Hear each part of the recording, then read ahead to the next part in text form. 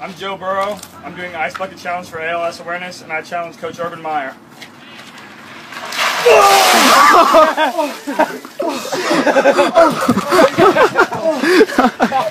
oh,